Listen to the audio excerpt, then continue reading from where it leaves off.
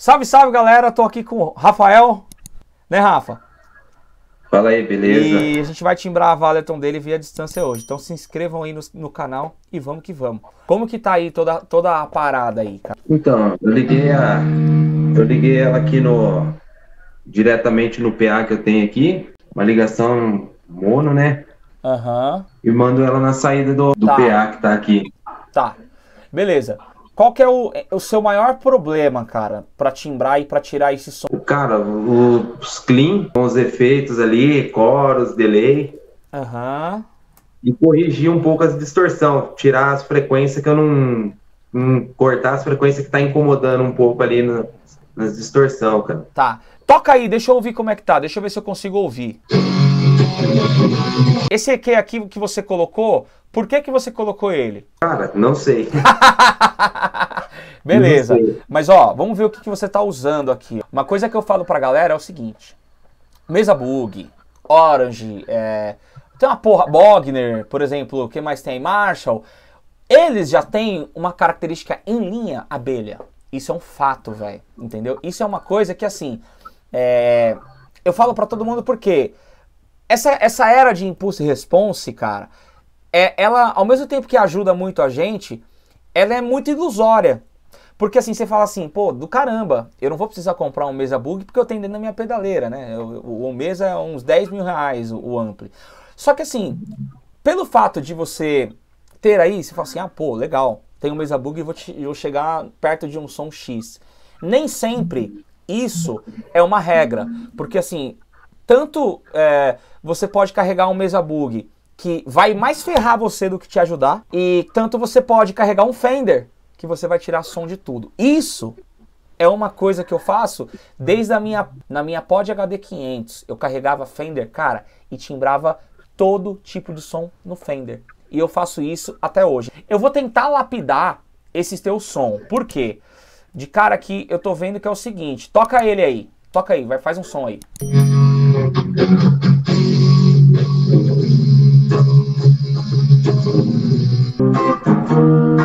Ó, co como que tá o clean aí pra você, até agora? Tá. Hã? Tá um pouquinho torcidinho no final. Aí ficou legal. Ficou legal? Tá. Show. Esse aqui, maravilha. Como tá o clean? O...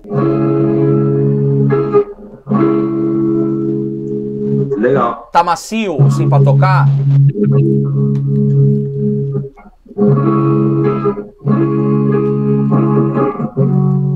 Vou fazer uma correção que, pelo que eu tô ouvindo aqui. Vai tocando, certo. vai tocando. Na verdade, esse aqui ele é limitado, cara. Vamos meter um Oi? outro. É, esse aqui, aqui ele é limitado. Vamos pegar um EQ que tenha mais banda, quer ver? Vamos ver se, tem, se a gente tem algum, algum EQ que tenha mais banda.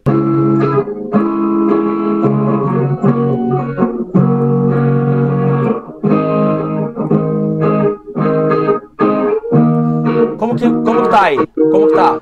Como que tá pra você? Tá legalzinho. Melhorou. Tá equilibrado?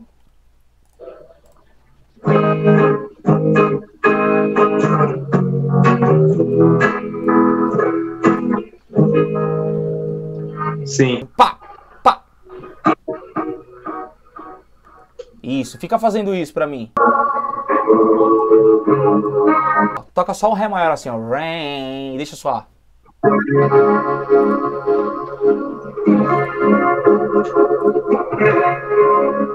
Não, já melhorou. Principalmente nesse daí, melhorou bastante, cara. Tá. É, vou desligar o chorus, vou desligar o delay e deixar tudo ligado. Como que tá o clean? Tá legal. Tá. Então, ó, é o seguinte, ó. Aí aqui, depois, provavelmente você é, sabe ativar no pedal, pôr como que você ativa. Eu vou montar o set, o, o, os, os efeitos para você e depois você vai colocar na sua pedaleira do jeito que você usa, como que você aciona, como você não aciona, mas a vibe é essa. Então a gente já tem um chorus, a gente já tem um chorus mais ou menos montado. Eu vou timbrar mais um para você. É, mas assim, esse ponto de partida aqui é legal. O que acontece? Uma dica que eu te dou, eu tô vendo aqui, ó, que você tem uma cacetada de, de preset para cada música. Cara, vou te falar, ser muito sincero pra você, isso é bobeira, velho. Isso é muito bobeira. Por quê? Se você tem. É, tanto que, pô, você pega o próprio Thiago, o Marcão, os caras é, tocando, o set dos, dos caras são. Hoje, do Marcão é meio híbrido, não sei se você já viu. Ele, te, ele tem algumas pedaleiras digitais delay ali da Boss, tem um, um, outro pedal de modulação. Entre você fazer isso aqui, isso aqui vai mais te confundir do que te ajudar. Entendeu? Então, assim, o que, que eu recomendo? E é o que eu faço. Cara, se eu, por exemplo, nos no meus pedais ali, se pintar um trampo pra tocar reggae, eu vou tocar com o mesmo preset. Se pintar um trampo para tocar gospel, eu vou tocar com o meu mesmo preset. Se pintar um trampo para tocar forró, é o mesmo set que eu tenho. Então, assim, é, aonde está o som? Lógico que o equipamento influencia, mas, cara, tá muito na nossa mão do que qualquer equipe. Mas você tem que ter pelo menos um timbre que você consiga chegar no meio termo de tudo. Tá totalmente diferente. Mano, ó, eu ainda vejo, eu ainda, eu ainda vejo o seguinte, daria para empurrar mais agudo aqui, ó. Toca aí pra você ver, ó.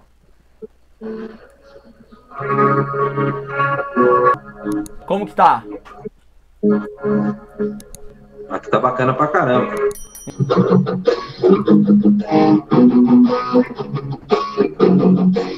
Quando estiver legal, você fala pra eu parar, beleza? Sim. O anterior.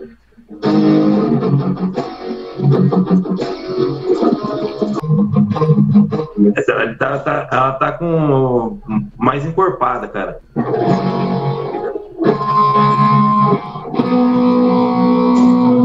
É, tá numa outra proposta. Mas tá legal. Mas tá legal. Não, tá legal. Então vamos salvar ela. E, cara, você é, acha que as, as primeiras. O drive, da, aquele outro drive e a distortion daquele outro também, e os dois cleans resolveram o seu problema? Sim, ajudaram bastante, cara. Você acha que. Você acha que com esses dois aí já é um ponto de partida depois para você lapidar eles? Exatamente, para ir, ir buscando Certo, então. Ah, os timbres aí já vai, certo. Aí ajudar é, muito. É o seguinte.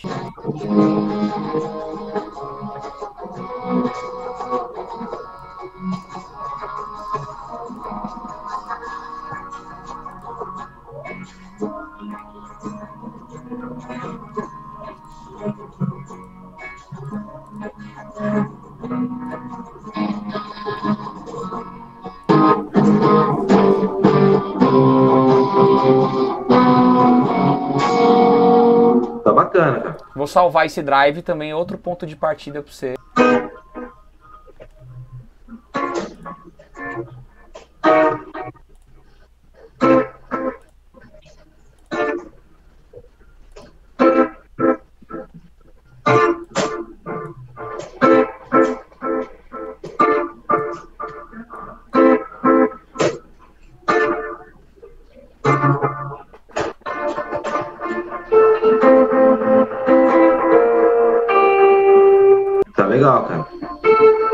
Você, em relação aos seus timbres, em relação aos seus timbres, como tá?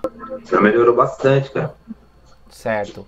Você não conseguia timbrar nessa pegada? Não, cara. Tá. Às vezes pegava muita coisa pronta, cara. Tá. Então, ó, o, o, o, modulação tá desligada. Vou deixar esse delay aí rolando. Brau. Tem mais algum timbre que você queira? Você acha que tá dentro da proposta do que você queria? Do que a gente fez? Sim, sim, cara. O, o clean do shake. Depois você vai ter que. É, depois você estuda esses timbres, entendeu? Para você sim. conseguir chegar é, sem se matar, saca? É, porque assim, o que, que, eu tô te falando? Eu, cara, eu tenho meus presets há, sei lá, mais de 10 anos, velho. Pra você ter noção. Agora que eu fui colocar, tipo, impulso e response, porque, putz, mano, mudou tudo, né? A parada. Mas, cara, é pelo menos uns 10 anos aí. Eu quero que você fique fazendo assim, ó. Fica fazendo isso, ó. Isso. Fica fazendo isso.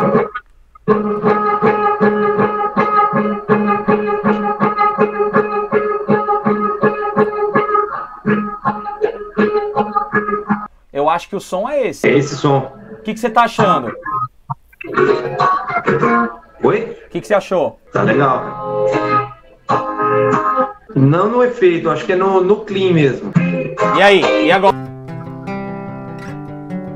Algo nessa onda pra você sentir o. pra eu sentir o, o, o phaser.